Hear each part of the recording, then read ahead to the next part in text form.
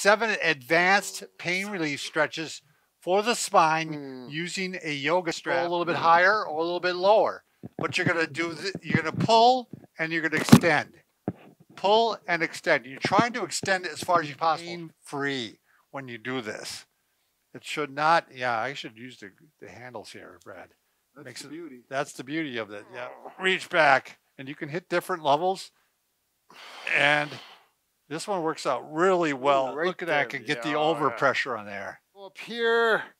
Eh, go up here because I need it. And the pelvis, if it's the hamstrings are tight, it's going to pull the pelvis down into a posterior tilt. Hold it. I'm holding with this hand nice and tight. Six seconds, and then go up again. That's where these handholds really Yeah. come in handy. Yeah. You have to pull up a little bit. Yep. Now I don't like to do this too much because my spondylolisthesis. Play a little bit with your distance apart.